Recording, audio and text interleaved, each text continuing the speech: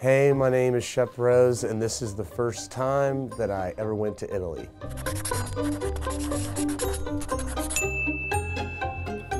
We were in Genoa up on this cliffside, and the World Cup was going on. So Italy was playing in the World Cup. We were in Italy. It's like their lives.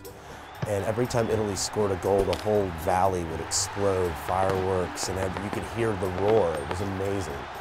And I was exploring around, and I started throwing rocks off of the side of the cliff, like a dumb 11, 12 year old that I was.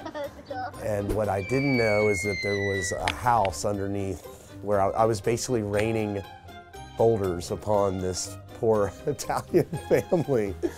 And they had attack dogs. So um, I heard some Italians screaming and some barking of dogs, and I got chased through the woods like something out of a movie. I barely made it out alive.